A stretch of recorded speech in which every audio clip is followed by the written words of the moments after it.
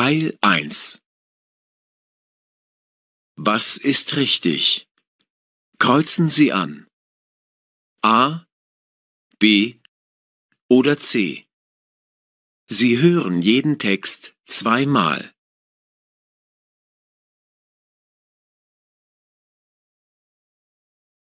Nummer 1.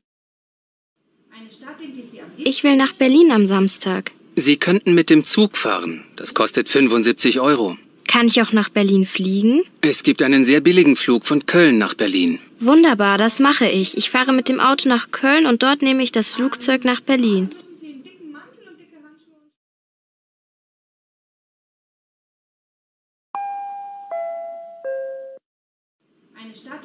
Ich will nach Berlin am Samstag. Sie könnten mit dem Zug fahren. Das kostet 75 Euro.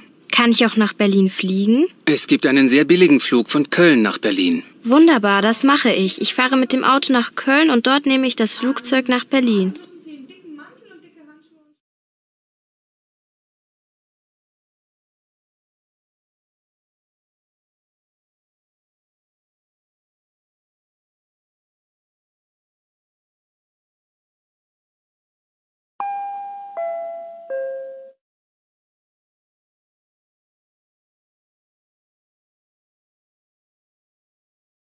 Nummer 2. Die Pommes frites kosten 3 Euro. Was meinst du? Pommes frites und Cola. Ach nein, lieber einen Salat. Oder gibt es das hier nicht? Sie haben Fleischsalat. Ich esse nicht gern Fleisch. Tja, dann gibt es nur noch Brötchen. Mit Tomaten und Mozzarella. Weißt du was? Du hast recht. Wir nehmen doch die Pommes frites. Einverstanden.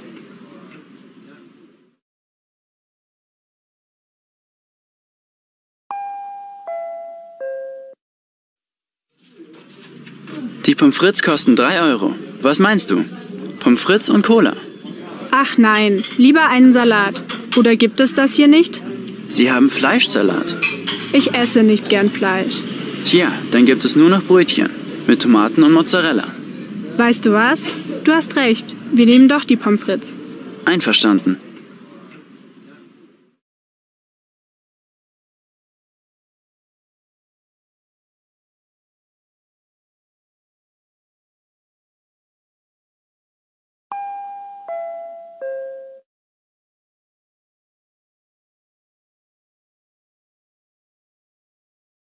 Nummer 3.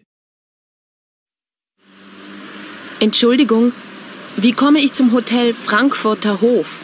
Das ist nicht weit. Wollen Sie zu Fuß gehen? Naja, mein Koffer ist ziemlich schwer. Wie weit ist es denn zu Fuß? Circa 20 Minuten. Sie können natürlich auch ein Taxi nehmen. Hm, ein Taxi. Oder Sie fahren mit der Straßenbahn. Das ist eine gute Idee. Nehmen Sie die Linie 21. Sie müssen in der Tannenstraße aussteigen. Am besten fragen Sie den Fahrer.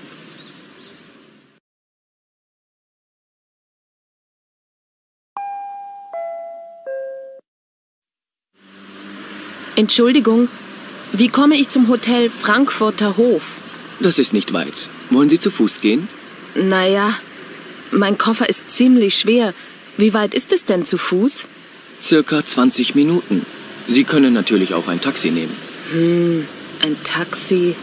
Oder Sie fahren mit der Straßenbahn. Das ist eine gute Idee. Nehmen Sie die Linie 21. Sie müssen in der Tannenstraße aussteigen. Am besten fragen Sie den Fahrer.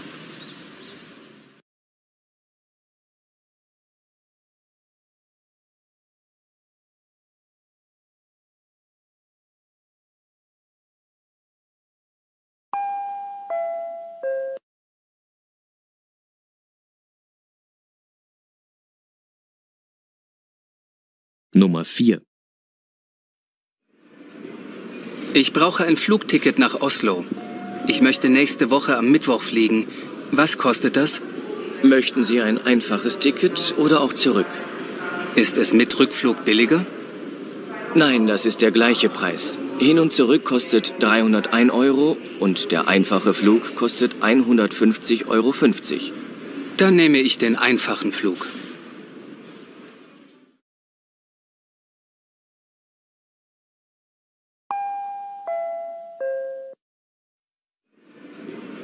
Ich brauche ein Flugticket nach Oslo. Ich möchte nächste Woche am Mittwoch fliegen. Was kostet das? Möchten Sie ein einfaches Ticket oder auch zurück? Ist es mit Rückflug billiger? Nein, das ist der gleiche Preis. Hin und zurück kostet 301 Euro und der einfache Flug kostet 150,50 Euro. Dann nehme ich den einfachen Flug.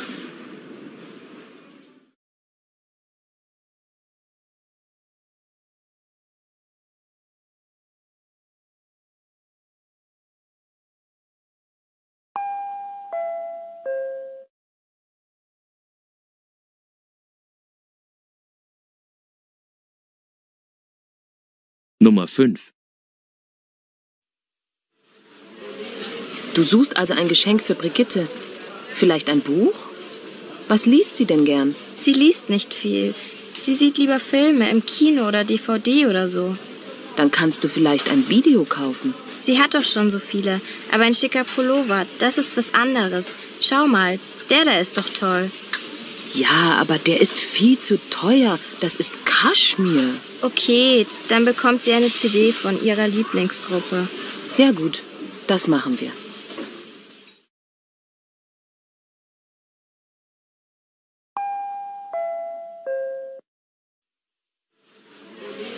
Du suchst also ein Geschenk für Brigitte. Vielleicht ein Buch? Was liest sie denn gern? Sie liest nicht viel. Sie sieht lieber Filme im Kino oder DVD oder so. Dann kannst du vielleicht ein Video kaufen. Sie hat doch schon so viele. Aber ein schicker Pullover, das ist was anderes. Schau mal, der da ist doch toll.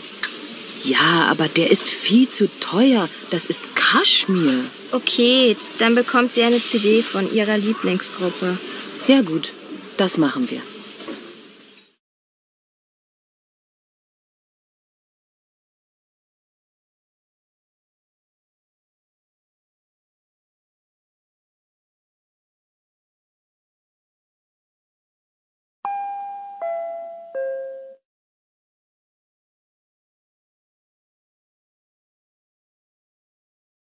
Nummer 6. Ach, guten Tag, Frau Schmitz. Wohnen Sie auch hier in der Schillerstraße? Ja, in dem gelben Haus da. Oh, das große Haus an der Ecke mit den schönen Bäumen. Nein, äh, unser Haus ist nicht so groß. Unten ist eine Bank, im ersten Stock wohne ich und im zweiten Stock wohnt mein Sohn.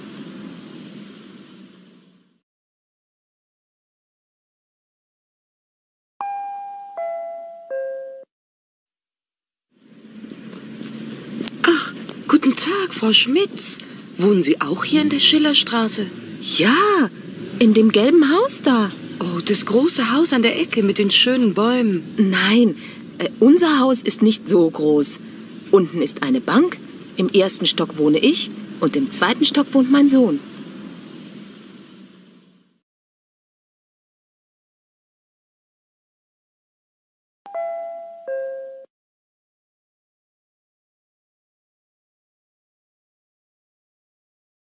Teil 2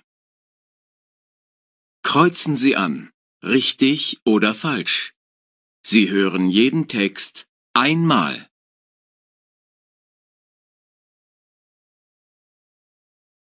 Nummer 7. Hallo Michael, ich bin's, Christine. Ich bin gerade hier am Bahnhof angekommen. Ich nehme jetzt den Bus Nummer 3 und fahre sofort zur Universität. Das ist gar kein Problem. Wir sehen uns dann dort im Café. Du kannst mich auch auf dem Handy anrufen, alles klar? Bis später.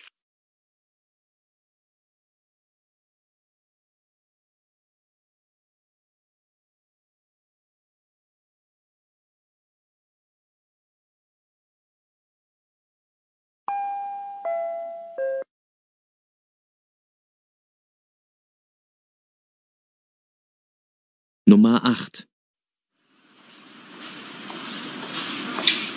Heute haben wir für Sie wieder besonders viele Angebote. Im Erdgeschoss finden Sie Damenoberbekleidung, Taschen und Elektroartikel in großer Auswahl. Im ersten Stock finden Sie Damen- und Herrenschuhe für jede Gelegenheit und für jeden Geldbeutel. Besonders interessant sind dabei unsere Angebote für sportliche junge Leute. Im zweiten Stock ist unsere Kinderabteilung. Da gibt es alles für unsere kleinen Kunden.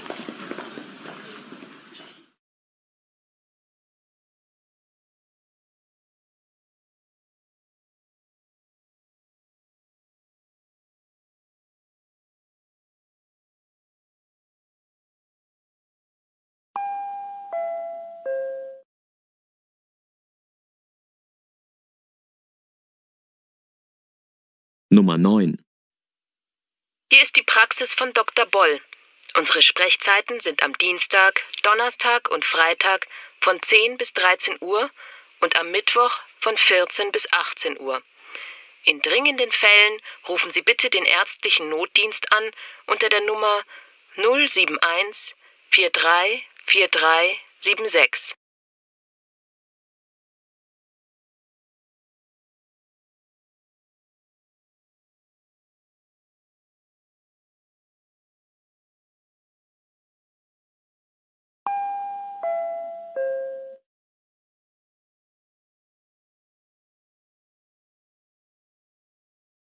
Nummer 10. Guten Tag. Hier ist die Volkshochschule der Stadt Auersberg. Bei uns können Sie jeden Monat einen Sprachkurs anfangen. Die nächsten Termine für den Einstufungstest sind 1. August und 1. September. Weitere Informationen bekommen Sie bei uns am Dienstag und Donnerstag von 18 bis 20 Uhr.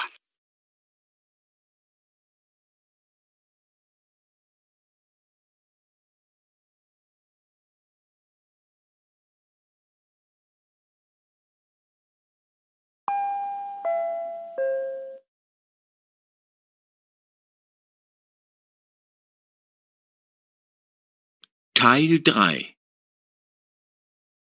Was ist richtig? Kreuzen Sie an. A, B oder C. Sie hören jeden Text zweimal. Nummer 11. Ja, hallo, hier ist Ulrike. Mensch, Ulrike, wo bleibst du denn? Hast du vergessen, dass wir ins Kino wollen? Es ist schon halb acht. Ja, ich weiß. Ich bin gerade erst angekommen. Ich stehe hier noch am Bahnhof. Was soll ich denn jetzt machen? Ich bin auch ziemlich müde. Ich glaube, ich fahre sofort nach Hause. Ach was. Der Film ist so toll. Den willst du doch schon lange sehen. Du nimmst jetzt den Bus Nummer drei zum Herderplatz. Ich kaufe die Eintrittskarten und wir treffen uns vor dem Astoria-Kino. Ich warte da vor der Kasse auf dich, okay? Ja, gut. Da kommt der Bus. Bis gleich.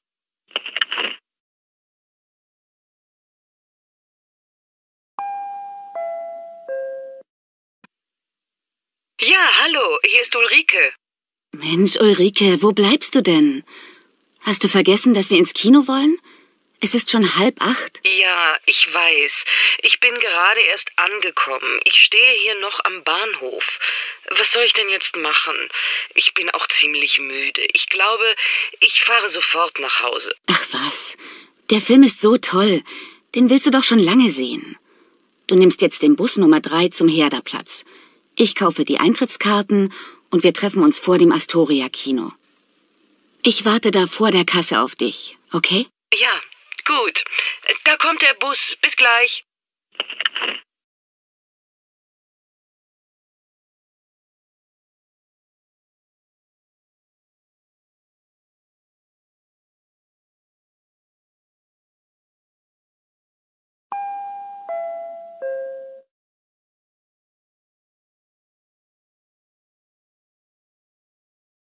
Nummer 12. Ich möchte Geld in die Schweiz überweisen. Füllen Sie bitte dieses Formular aus. Oh je, ich finde die Kontonummer nicht mehr. Tut mir leid. Dann können wir gar nichts machen. Aber vielleicht kann ich die Nummer noch holen. Wie lange haben Sie denn geöffnet? Bis halb eins. Ja, das geht. Ich komme sofort wieder. Jetzt ist es ja erst halb zwölf. Gut, bis später.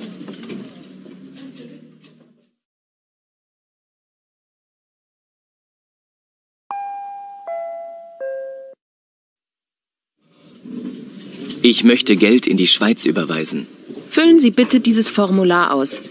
Oh je, ich finde die Kontonummer nicht mehr. Tut mir leid. Dann können wir gar nichts machen. Aber vielleicht kann ich die Nummer noch holen. Wie lange haben Sie denn geöffnet? Bis halb eins. Ja, das geht. Ich komme sofort wieder. Jetzt ist es ja erst halb zwölf. Gut, bis später.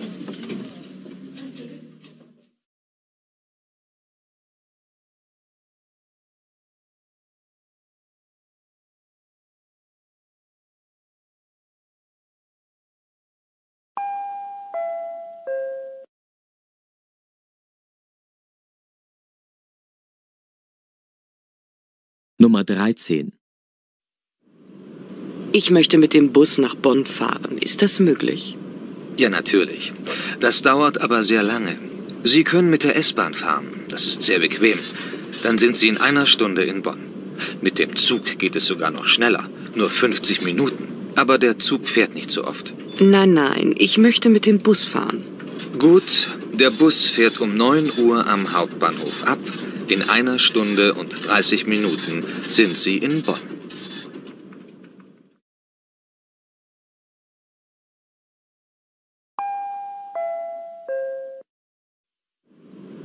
Ich möchte mit dem Bus nach Bonn fahren. Ist das möglich? Ja, natürlich. Das dauert aber sehr lange. Sie können mit der S-Bahn fahren. Das ist sehr bequem. Dann sind Sie in einer Stunde in Bonn. Mit dem Zug geht es sogar noch schneller. Nur 50 Minuten. Aber der Zug fährt nicht so oft. Nein, nein, ich möchte mit dem Bus fahren. Gut, der Bus fährt um 9 Uhr am Hauptbahnhof ab. In einer Stunde und 30 Minuten sind Sie in Bonn.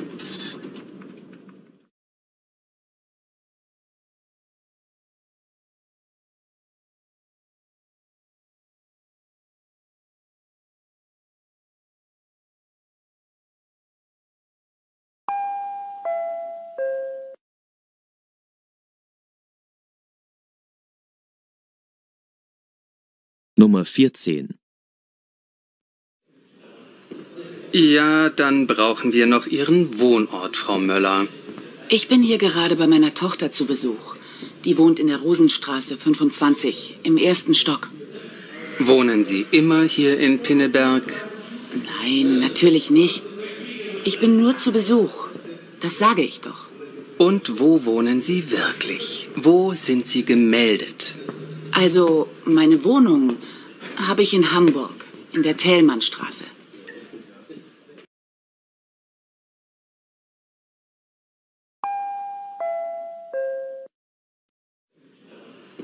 Ja, dann brauchen wir noch Ihren Wohnort, Frau Möller. Ich bin hier gerade bei meiner Tochter zu Besuch. Die wohnt in der Rosenstraße 25 im ersten Stock. Wohnen Sie immer hier in Pinneberg? Nein, natürlich nicht. Ich bin nur zu Besuch. Das sage ich doch. Und wo wohnen Sie wirklich? Wo sind Sie gemeldet? Also, meine Wohnung habe ich in Hamburg, in der Thälmannstraße.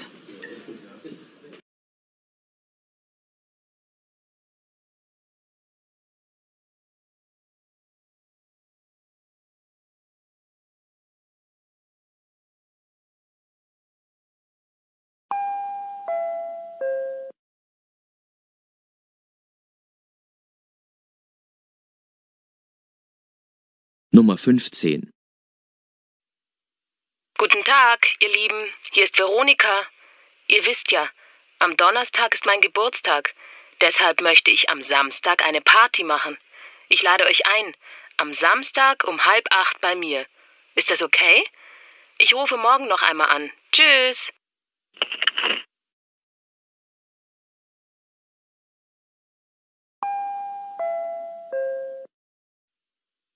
Guten Tag, ihr Lieben. Hier ist Veronika.